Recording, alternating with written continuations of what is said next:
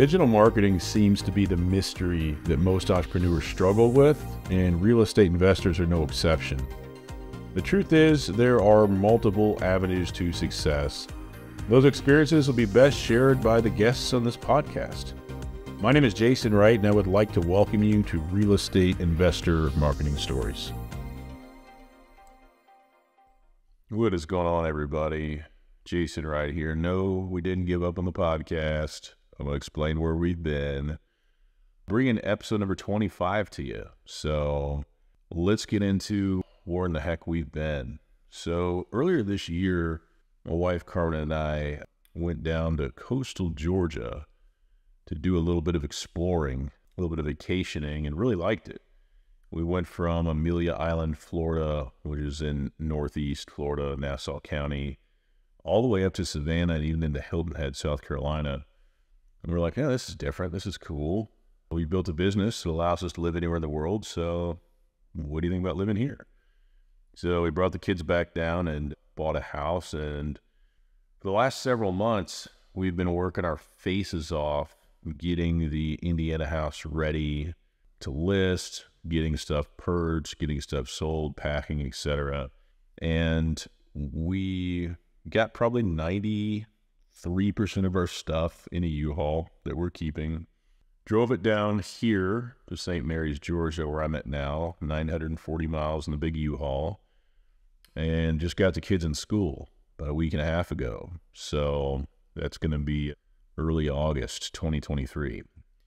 So, anyways, you know, not having an office, not having Wi Fi, spending every spare waking minute working on that Indiana house is taking up a lot of my time. So we've been recording podcast episodes, just haven't put any out in a while. So that's the high level of where we've been. We're not giving up, we're not quitting.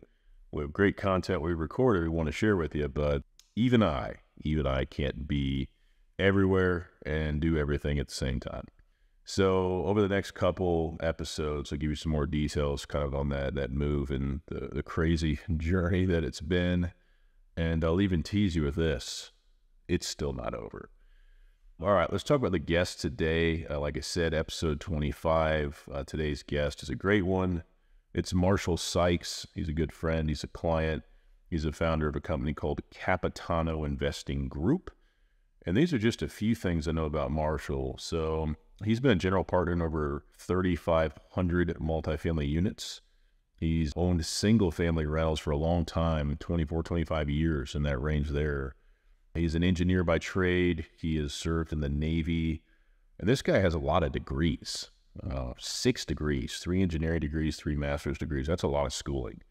So, uh, without further ado, let's check out our conversation. We had a great conversation. So, it's time for you to tune into that. Hey, Marshall, welcome to the show. Hey, Jason, it's good to see you. Thank you for having me today. Absolutely. So, I don't know this story about you. I uh, would love to hear how you got involved with real estate investing. Yeah, I mean that's a very interesting uh, topic for me. I I kind of kind of uh, accidentally got into it, but uh, really it was through my family. My dad had retired from the army, and he decided he wanted to work for himself kind of control his own destiny a little bit, his own time. And so he learned the building trade, and him and my mom would build two houses at a time. Yeah. Um, and they would, I mean, they would do all the work pretty much on, except for electrical, mechanical, maybe, and maybe the roofing. But um, they would end up keeping one as a rental and selling one for you know to live off of and to seed money for the next uh, two. So I learned that I, when I was a teenager, I would help them with that you know, on the in the summertime and go work on the job sites. But um, more importantly, in the evening, they would talk about the business side of it when I was in the living room. And, you know, I didn't think much about it, but, you know, you hear that what's going on and they look at the numbers and all that stuff. And, and, you know, fast forward some 10 years later, I decided, hey, I want to do some of this rental income. Um, it's something that I'm gonna look at my future. I've all, always been about passive sources of income and having multiple sources of income. And this was a, I felt like real estate was a way to do that. So I started getting into um, multi uh, single family homes at that point. Very nice. Very, very nice. I like it. Um, so are you uh are you focused on any certain asset classes or markets or or what are your what's your approach there? Yeah, so I you know I, I had we had a single family portfolio of 10 units but 10 or so houses. We've sold a number of those off. Um, we have around five of those still. So I don't not really focused on buying more single family. We've been focused on the last four years in multifamily. Gotcha. Um, we're investing in 10 different uh, partner in 10 different states. Mhm. Uh, I mean, multifamily properties in 10 different states. And the markets I like, I moved back recently from Texas, from Houston to North Carolina, where I grew up. Mhm. So I'm, I'm looking in the North Carolina uh, markets. Um, I, I like the, I still like Texas markets as well and Arizona markets. So those are the kind of the three that I'm really looking at. There, are- there are some other markets that I think are intriguing as well. I think Arkansas and Tennessee can also bring some um, some value as well. Yeah, I, I definitely hear um Dallas, Houston, Phoenix, super hot markets. Most people want a piece or have a piece of those, and I think there's just something to be said about those warmer states. You know, no one's investing in North Dakota or Minnesota or even Montana, so definitely something to that. Um, so is single family something you have an interest on uh, in anymore at all, or is it really just multifamily? I'm really mostly focused on multifamily and focused on, you know, raising capital and and scale. I think multifamily just provides more scalability than Okay. single family. Yeah. But you know, for personal, if I was going to buy my own deals and not not uh, work with investors, you know, single family does have some appeal to it. You got to buy the right. You just got to buy the right property, and I think locally it makes sense uh, versus buying out of t- out of state. Would Yeah. I wouldn't do that with single family. Yeah, it's um, a lot of people that I have on this show and that I've worked with and spoke to start with single family. And I've only seen one or two that actually maintain it on a large scale as a piece of their their focus. But um, yeah, I don't uh, I don't have any interest on it based on what I know now. I think multifamily and, and stuff in that realm is the place to be for sure. So Yeah, I haven't bought a single family rental in, in many years, over ten years. So, yeah, I am really focused on multifamily. Um, I just trying to find the right property now for that investment. Yep, absolutely. So, what simple market strategies and tactics have kind of initially allowed you to successfully attract investors to your business? I think the big thing for me is being vulnerable and getting on social media. For me, I, I liked LinkedIn Yep. because uh, I had a big network on LinkedIn from my 30 years of experience in the in the Navy and at ExxonMobil, so in corporate America. So I had a lot of I had a big network, and you know, you put something on LinkedIn and people see that. They might not respond right away. Some people do, some people don't. But they look at it and they say, oh, uh, a year later, they're like, or a year or two later, you keep going, you keep uh, that social media presence going. And they start thinking, well, maybe I do want to get into real estate. So that kind of becomes a con- conversation at that point. Oh yeah. Uh, it's funny what you said about you just said something that's uh, super near dear to me this week. So I sent out an email to my list and I'll paraphrase it, but it said something like, even though you don't see the likes or comments or shares, people are always watching you. And you it, it really gets eerie. Um, I remember this has been probably five years ago. I was in the grocery store in the little town I live in, and I was in an aisle talking to my wife, and this girl turned around. She's like, I know you. And I was like looking at her. I looked at my wife. I was like, I don't know who you are. He's like, I know your voice. Uh, I listen to your podcast. I was like, oh, crap. Wow. Cool. And, um, you know, other times you like talk to a neighbor and they'll mention something. You're like, what? And then you're like, oh, you're watching what I'm doing because that, that a few months ago. So it is interesting. I like LinkedIn. Their organic reach is a lot nicer than Facebook for sure. Uh, Facebook really wants you to pay for all the exposure, but LinkedIn is a great platform. Uh, and for what you're doing, it's it's really, in my opinion, the number one place to focus. I mean, it's just you know, YouTube can be valuable, Facebook can be valuable, but LinkedIn is really where it's at. So I'm a fan. Mhm. Yeah. And then, you know, I, I, when I posted, you can go back and look at a little bit of the analytics, and you know, maybe two thousand people, twenty five hundred saw the saw that post, but only fifty people, like you said, they might have liked it, or and only ten people might have commented on it. But yeah. a lot of it still gave you a lot of exposure, you know. And if you do something long enough, eventually people, like you say, will raise their hand. They're like, all right, I know this guy, been doing this for a little while. Let's see what he's up to, you know. So, right. And my, and my goal is to help others kind of get into real estate that haven't don't have that in their portfolio or they don't know much about multifamily and maybe they've done some single family rentals yep. but don't know much about multifamily And, but they trust me to to give them the inside scoop on that so that's kind of where my angle is on that i like it by the way thank you for your navy service. Uh, i take that stuff seriously. You're welcome. That was a pleasure to serve. Awesome man. Very cool. So um, throw you a bit of a curveball here switching gears a little bit. What would you say the biggest mistake is, the biggest re- regret you have with marketing has been so far? Yeah, on marketing side, I think uh, my biggest mistake is I'm going to get to that this afternoon. I'm not just and wait, and then the afternoon comes, and I'm like, I don't want to do that, so yeah. wait the next day, and that kind of snowballs after a while, right? So it's a matter of actually doing it more consistently. That's my biggest mistake. Yeah. yeah. I've told myself I'm gonna start again next week yeah. Well, it's funny. I was talking to a company the other day, and they were telling me about their newsletter. They're like, "Oh yeah, we're marketing. We send out a newsletter." And I was like, "How often?" They're like, "Once a quarter." And I said, I, I don't want you to take this the wrong way, but you might as well not do it at all. Think about this: if you went to the gym once a quarter, would you look any different in a year? They were like, mm-hmm. "Oh, you know."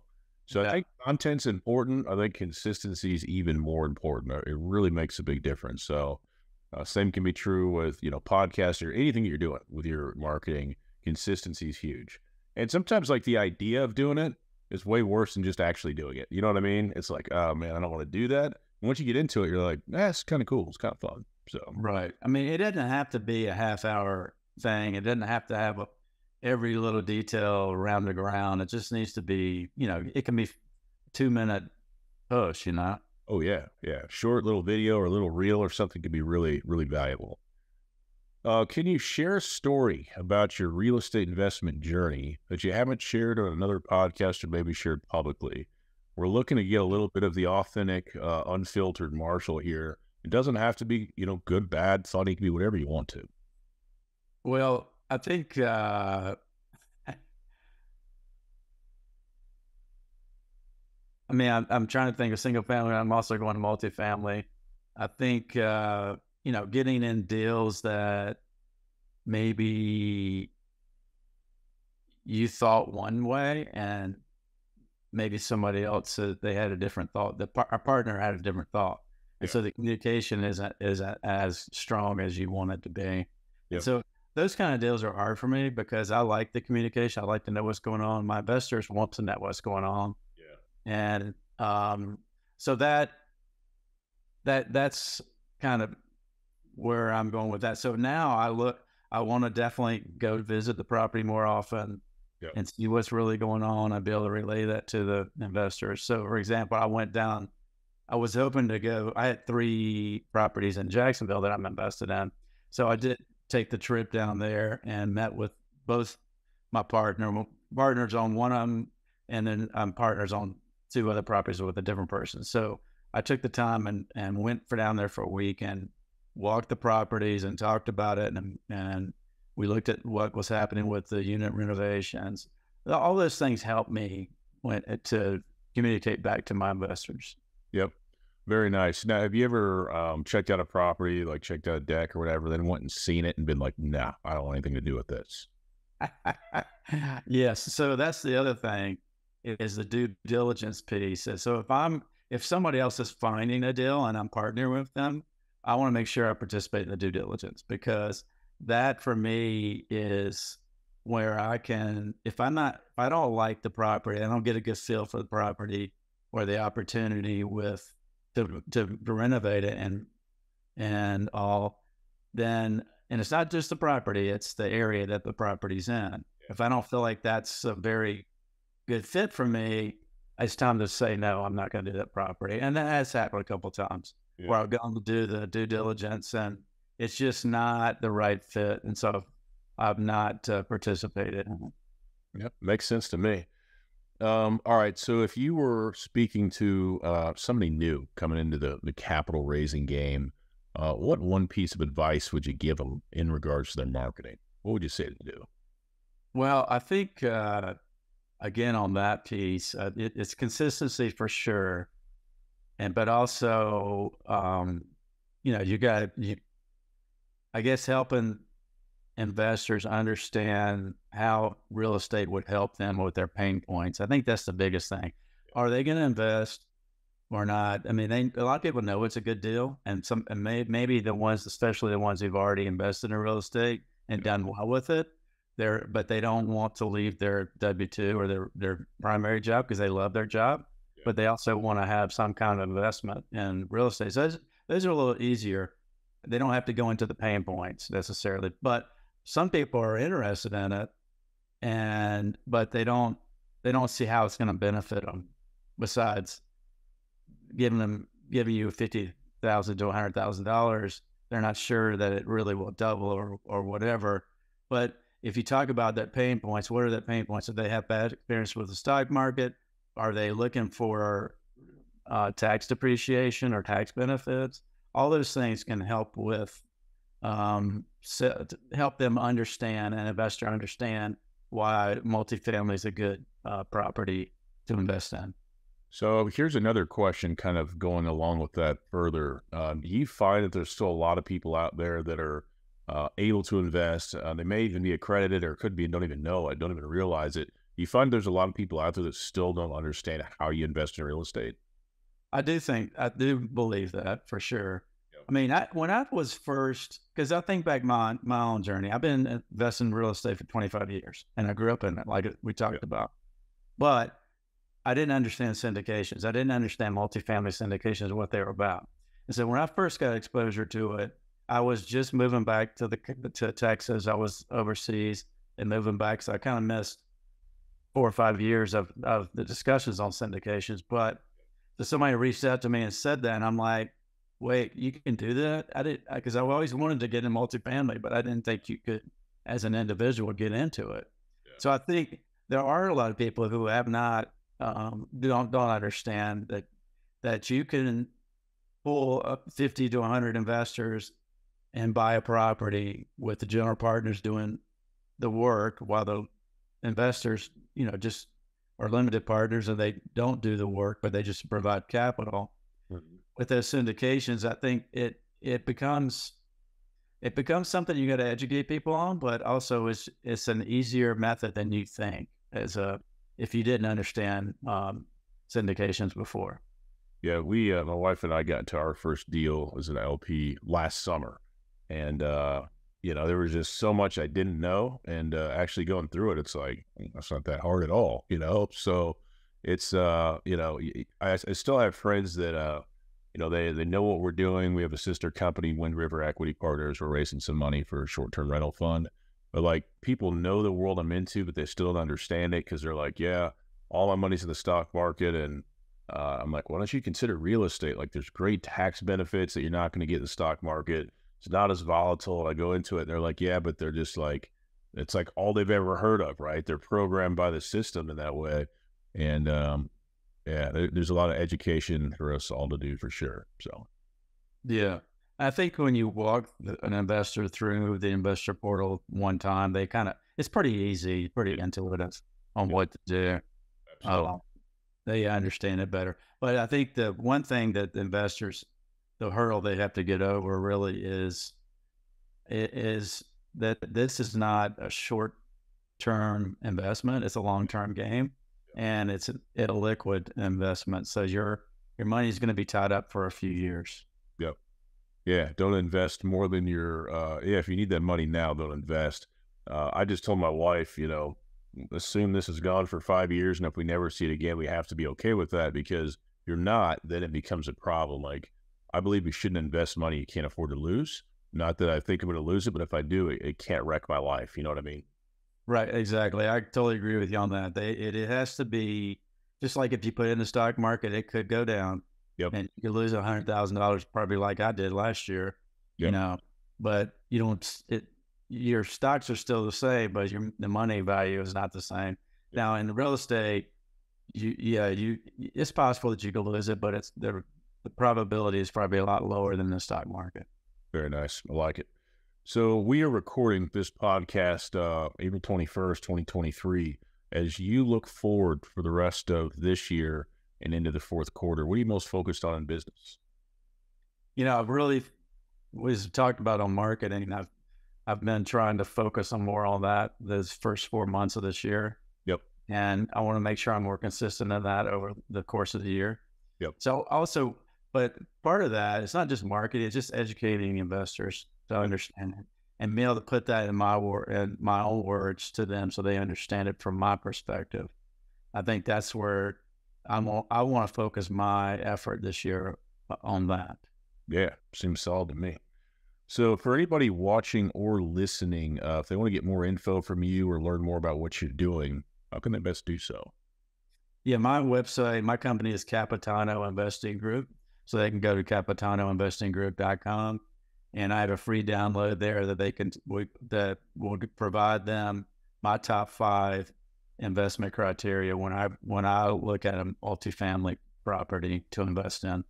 Beautiful. Thank you. I'd, I'd be happy to hear from them. Hopefully they they get this resource and and look at it as well. Absolutely. Well, I really appreciate you coming on the show today, man. It's been fun. Yeah, Jason, thanks for having me. It's a pleasure to see you again. Yep, you as well. Thank you. Thank you for listening to this episode of the show. I had a great time making it, and I hope you really enjoyed yourself listening to it. If you want to keep up with all things real estate investor marketing stories podcast related, I encourage you strongly to go to reimarketingstories.com and signing up for our podcast newsletter. We will simply keep you up to date with what's going on with the show, new episodes, and things like that. reimarketingstories.com. So hopefully today's episode and the other episodes that you'll listen to will remind you that as a real estate investor, everybody starts at the beginning, okay? Um, our guest today and the other guests that you will hear on this show will share their real story, right? They'll tell you what worked, what didn't work. And I want you to remember one thing if you remember nothing else today. It's possible for you too, okay? Never stop going and keep following your passion. Finally, today's show has been brought to you by CapitalRaisingAutomations.com. If you're an active capital raiser and you are ready to learn the three areas that are holding you back from raising more capital, I strongly suggest you check out CapitalRaisingAutomations.com. Check out our free 10 minute video there, and you let me know if it doesn't provide you value. I'm sure it will. All right, thanks again for listening to the show this week. Hope to see you next time. Take care.